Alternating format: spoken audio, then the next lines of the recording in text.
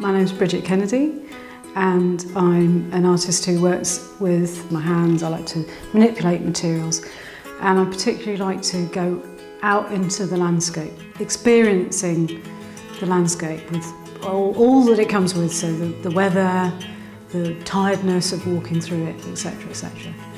So for my residency with VARC, I'm paired with the Heritage Centre in Bellingham and one of the main features in the landscape uh, between Highgreen and Bellingham is Hareshaw Linn. I've always been interested in industrial heritage and uh, there was a period of time in the history of Bellingham where there was uh, an iron industry or a steel works at Bellingham and what really interested me was that Hareshaw Linn was a kind of instrumental element in that industry. So I've been listening to the people that work in the Heritage Centre telling me stories, particularly focusing on the history of the iron ore industry and also the impact of Hareshaw Linn. So there's, there's an area of photography in the Heritage Centre that shows documentation of a flood when Bellingham was flooded. And I've made work in response to several buildings that had the sides of the houses washed away and everybody's possessions were washed down the river and people had to go picking through the mud to find their possessions.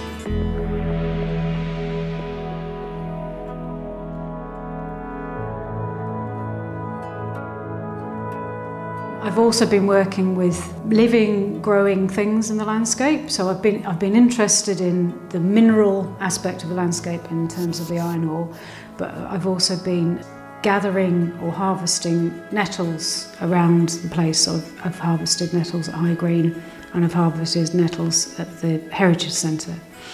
And this is a, a process that I've been doing for quite a while. I'm you kind of semi-rot the nettles, you dry them, and then you process that into fibre that you can then spin and weave with.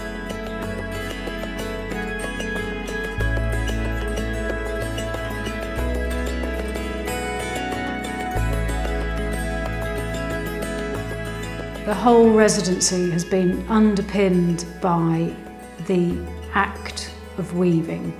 So weaving stories together from the landscape and from the Heritage Centre, but also physically weaving materials together.